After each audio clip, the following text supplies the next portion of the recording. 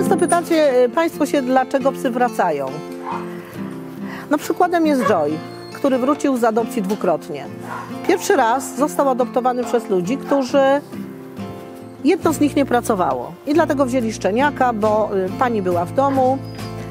y, No i postanowili wziąć młodego psa, który się przyzwyczai później zostawać w tym domu. E, Nie minęły dwa tygodnie, dostaliśmy telefon, że pani podjęła pracę, zmieniła zdanie i pies wrócił do schroniska. E, także mm, zaufanie do ludzi zostało pierwszy raz na, nadszarpnięte. Druga adopcja odbyła się w październiku. Joy poszedł do domu, w którym był już adoptowany od nas pies. My tak sceptycznie do tego podchodziliśmy, ponieważ je, y, ten pies, y, który już był w domu, jest, był dosyć żywiołowy i tu jak Państwo widzicie jest y, Joy to wulkan energii.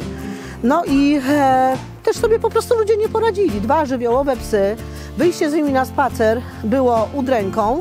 E, behawiorysta zalecił spacery pojedynczo z psami, więc to już jest wtedy sześć spacerów dziennie.